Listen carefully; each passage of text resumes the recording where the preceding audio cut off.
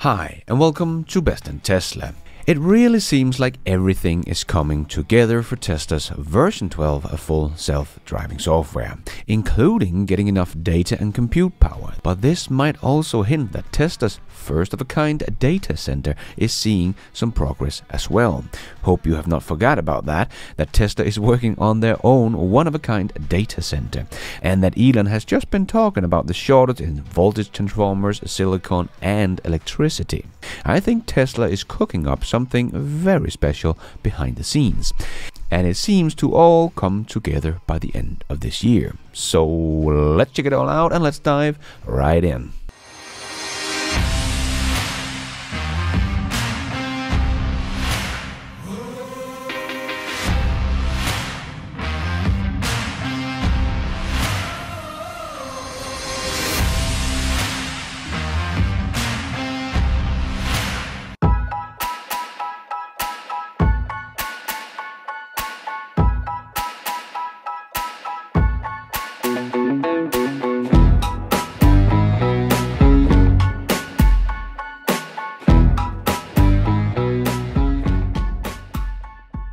We have to talk a little more about Tesla's full self-driving as there are a lot of exciting things happening right now. We got a lot of great new footage of version 12 this week and some of the experts are getting really excited as well, so of course, so am I. Bradford Ferguson was out testing the version 12 full self-driving this week and boy did Tesla's AI system pull some great moves and it sounds like Bradford's mind was pretty blown. Basically a right and a left and you're done.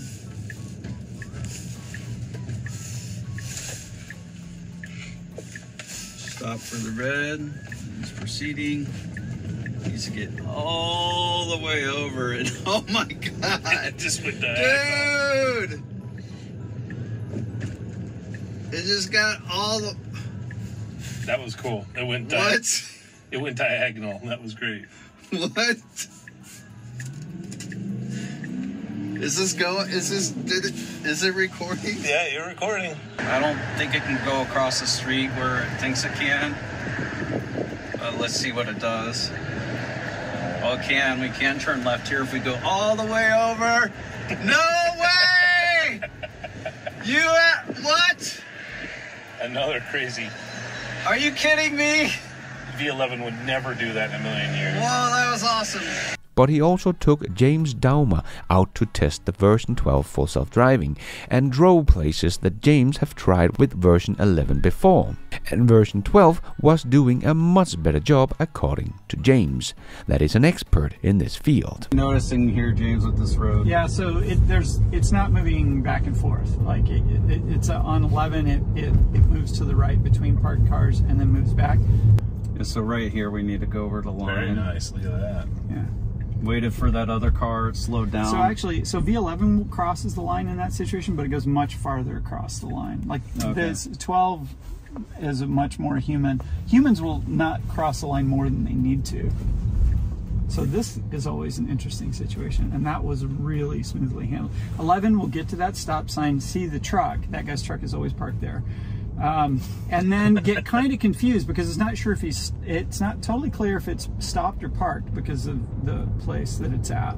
So it'll be kind of jerky a little while then it'll decide it's parked finish the turn. That was really nice pedestrian handling. There wasn't any hesitation there. So this this is only one lane wide.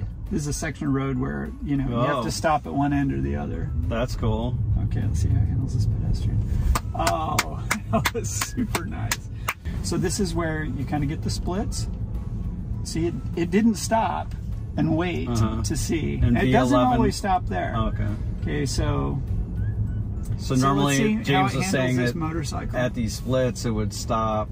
Um, so we'll see how it does on the rest of the splits. So, uh, uh, 11, when it sees that motorcycle, it pauses Like to make sure because it looks like it's about to pull out Cross into the road. traffic. So there's no the amount of hesitation is it's almost completely gone. Mhm. Like it's radically reduced. Mm-hmm. So this is a place where where 11 stops to look to as if it's an intersection. Mm-hmm. 12 doesn't.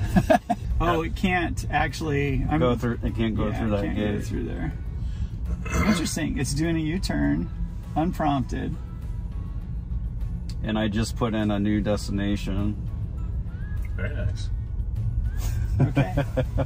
And James actually think that Tesla does not need any new architecture to solve full self-driving, only more data, as he wrote on X. This is so good that I wonder if Autopilot team might not shift the development approach. Up until now, big improvement have required big changes, but the range of behavior that are being effectively implemented with E2E path planning and control suggests to me that they can get to the rest of the way to better than a human solely on top of more data and training. As I have been saying about version 12, I personally think this is it. And James seems to agree. And he also wrote on X that version 12 is going to be over a hundred times reduction in intervention compared to version 11. This is not an incremental upgrade, it's a leap forward. And Elon also replied to James and wrote, Thanks, that is an accurate assessment. Training compute is currently our limiting factor, but that issue is being resolved fast. As we know, Tesla is building data compute power as fast as they can, and it sounds like they are making some good progress on this as well. As we heard Elon before saying they will not be compute constrained by the end of this year, so I think it is looking more and more positive for something really special by the end of this year. So it seems like Tesla is doing very well, both on all the compute clusters they have bought from Nvidia, but probably also a good sign that Dojo is also doing pretty well. Maybe Tesla is even making some progress on their first of a kind data center that Elon talked about last year. As we saw on the job description last year, where Tesla wrote, this role will lead the end to end design and engineering of Tesla's first of a kind data center and will be one of the key members of the factory's engineering team. And we know Tesla has taken over one of the old Twitter data centers, leased from NTT Data, that the social media company was using in Sacramento. So, if we are really getting to a place where Tesla is no longer compute constrained, that might be a little sign that Tesla's one of a kind data center is also coming along nicely.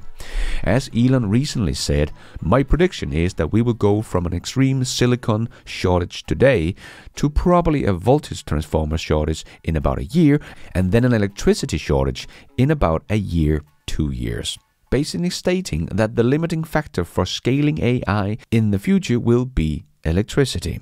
So you can bet your dollar that Elon Musk is making sure, just like with everything else, that Tesla is working on a solution to make sure they are not constrained by these factors. So Tesla has probably ordered the amount of silicon they need for the foreseeable future, and the same for the voltage transformers, and of course the last thing that was electricity. So Tesla's own data centers and supercomputer will probably be run by Tesla Solar and Megapacks and be managed with their powerful software we all know from Tesla like Virtual Machine Mode, Power Hub, Autobidder, virtual power plant, and so on. Because Tesla needs more and more compute power, not just for their full self driving data, but for all their management of their energy business as well to handle their machine mode, the power hub, the auto autobidder, the virtual power plant, and so on, that are all growing and needs compute power. But if we are looking a bit further into the future, I can really see electricity becoming the limiting factor because according to this paper, their estimates, running a complete simulation of a human brain would require 2.3 gigawatt of energy. That is about 5% of the UK's total power requirements, meaning simulating just 20 human brains like this would require as much electricity produced as the entire UK. 20 human brains. So when we eventually get to AGI, it does seem like energy will be the limiting factor. But if Tesla will not be compute constrained by the end of this year, they are probably really working on something big to handle all of this. But I don't think Tesla will not have thought this through all the way down through the supply chain to make sure they get rid of any bottlenecks they see, like the voltage transformers, the silicon, and electricity.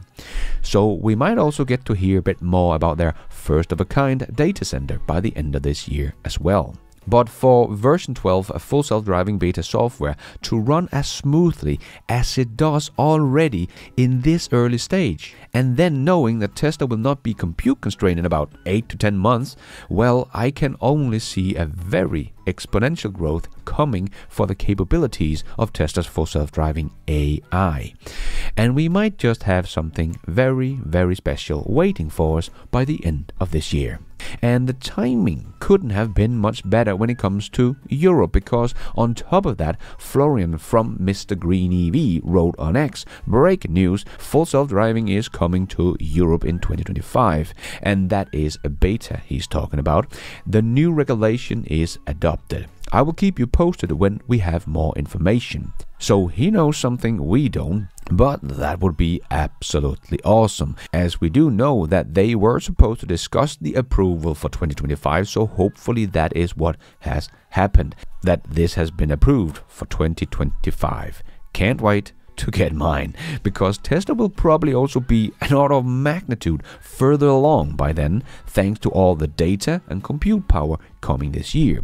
And we might have Tesla blowing everybody's mind here in Europe in 2025 with the full self-driving software, as not many outside our little Tesla bubble knows just how far ahead Tesla is with this software, as no one has really seen all the great videos coming out of the US with the version 12 of Tesla full self-driving software like the ones I've just shown you today. That is not knowledge for the everyday Joe.